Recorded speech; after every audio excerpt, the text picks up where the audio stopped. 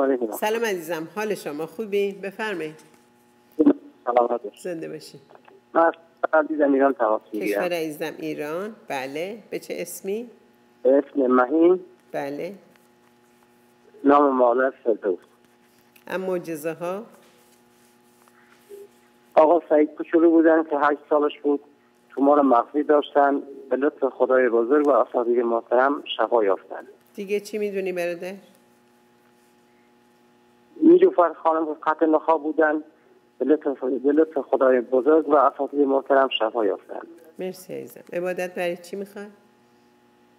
سلامتی و آرامش. خدای مهربان سلامتی و آرامش رو تو زندگی بهت هدیه کنه به خدا میسپرمت خیلی برادر ممنون. خدا حافظ. ببخشید میگم خانم اگر میشه لطف کنید دستتون برام بالا. چشم بردارم چشم. خدا نگهدار.